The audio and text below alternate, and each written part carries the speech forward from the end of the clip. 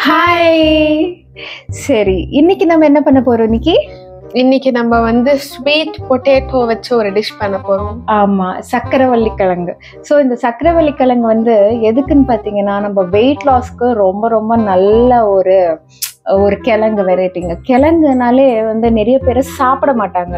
ஏன்னா சொல்லுங்க? அதுல வந்து வெயிட் போடும். அப்புறம் டயபெட்டிஸ் பேஷண்ட்ஸ் எல்லாம் வந்து சாப்பிடக்கூடாது அப்படி நிறைய இருக்கு. இந்த மாதிரி எல்லாம் பேச சொல்லி யாரா சொல்லி கொடுக்குறா? ஆனா இந்த சக்கரவள்ளி கிழங்குல மட்டும் நிறைய பெனிஃபிட்ஸ் நிறைய இருக்கு. அதனால இப்போ எங்க டயட் ரெசிபில நாங்க இதெல்லாம் வந்து கண்டிப்பா சேர்த்துட்டு இருக்கோம்.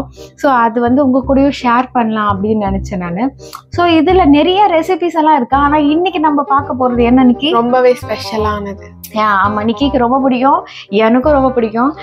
இப்போ என்ன பண்ண போறோம்?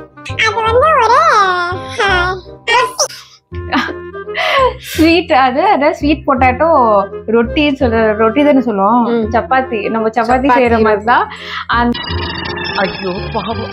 அவரே கன்ஃபியூஸ் ஆயிட்டார். அதே- அதே மாதிரி ஆனா இந்த கிழங்கு போட்டு நம்ம செய்ய போறோம். அது எப்படி செய்யலான்றது பார்க்கலாமா. ஆரம்பிக்கலாங்களா?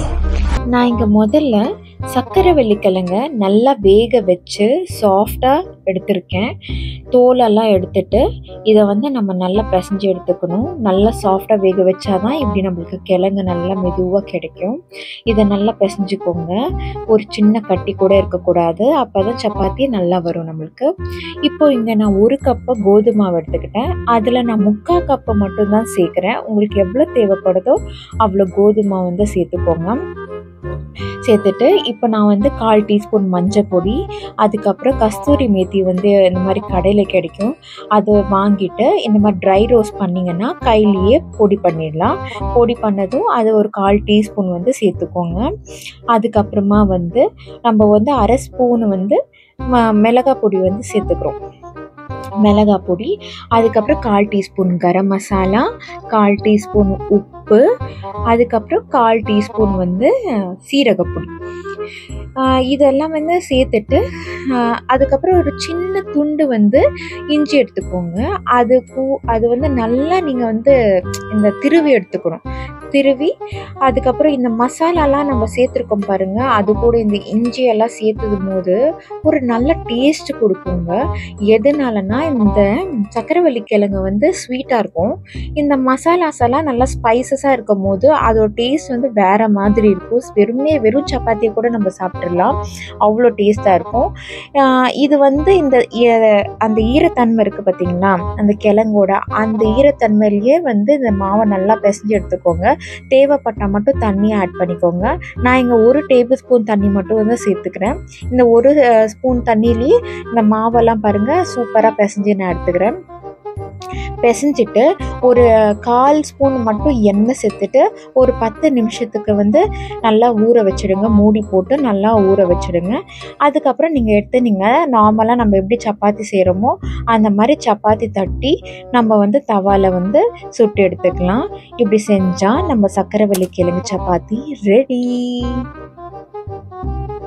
எஸ் எங்களோட ஸ்வீட் பொட்டேட்டோ சப்பாத்தி இல்ல ரொட்டி இல்ல சக்கரவள்ளி கிழங்கு ரொட்டி என்ன வேணா ஸோ அது வந்து ரெடி ஆயிடுச்சு. நீங்க பார்த்துருப்பீங்க அது எப்படி செஞ்சு ரொம்ப ஈஸி இல்லையா அது மர்க்கா சொல்லு. செய்யறது. ரொம்ப சப்பை சப்ப ஆமா நிக்கி கூட செஞ்சிருவா. ரொம்ப ரொம்ப ஈஸியான ஒரு டிஷ் இது. ஸோ ஆனா அதுல நம்ம ஆட் பண்ணிருக்க அந்த ஸ்பைசஸ் எல்லாம் இருக்குல்லங்க. அந்த ஸ்மெல்லே செய்யும் போது எங்களுக்கு அவ்வளோ ஸ்மெல்லா இருந்தது. அவ்வளோ சூப்பரா இருந்தது.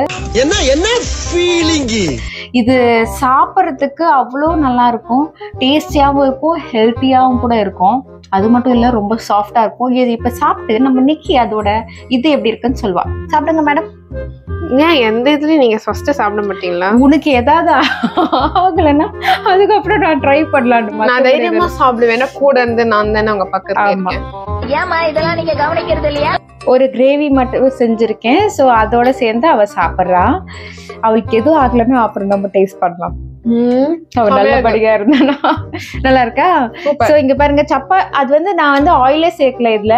ஏன்னா வெயிட் லாஸ் பண்றதுனால இது வந்து ஆயிலே சேர்க்காம நான் பண்ணிருக்கேன்.